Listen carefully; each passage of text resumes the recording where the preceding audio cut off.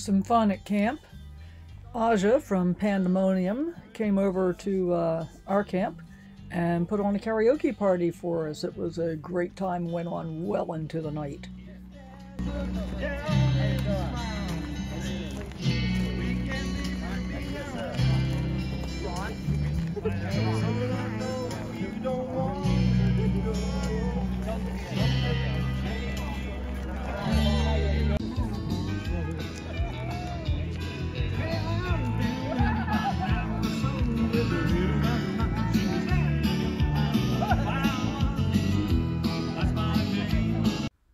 So the karaoke party was a lot of fun. Um, and then the next day, I had picked up a turkey breast from uh, the Roadrunner market in um, Quartzsite. And, you know, we did a big potluck dinner for Thanksgiving, actually with about 70 people. But the problem with doing a potluck is there aren't any leftovers, and I really love turkey. So I decided to go ahead and get a turkey and uh, make one up for myself so I could have some leftovers. Check it out.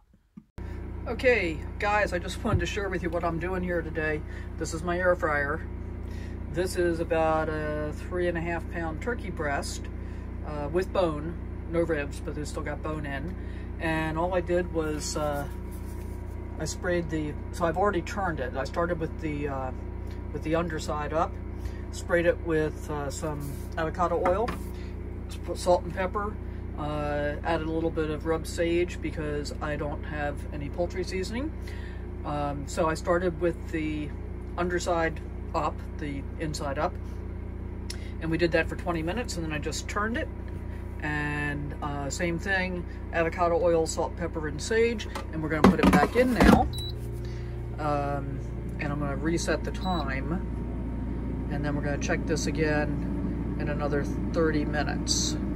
So we're doing this on the air fry setting at 350 degrees.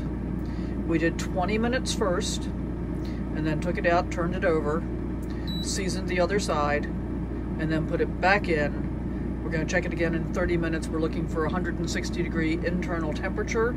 So I'll check it with an instant read thermometer and see how close we are at that point.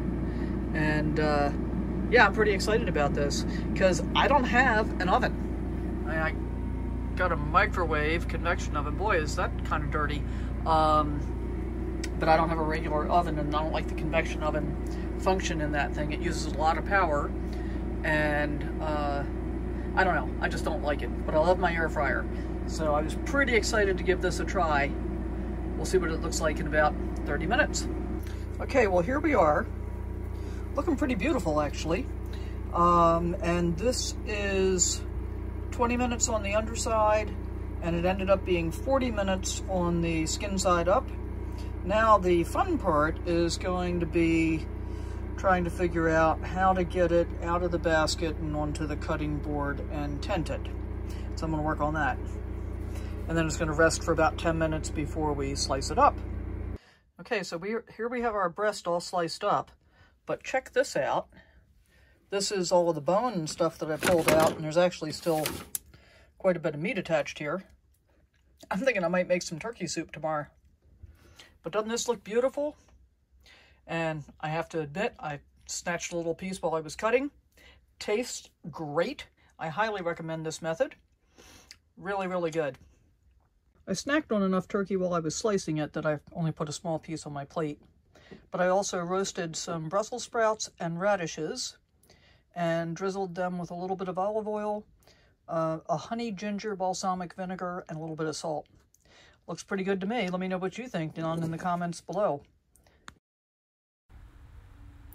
Hey, thanks for hanging out with me. Hope you enjoyed this video.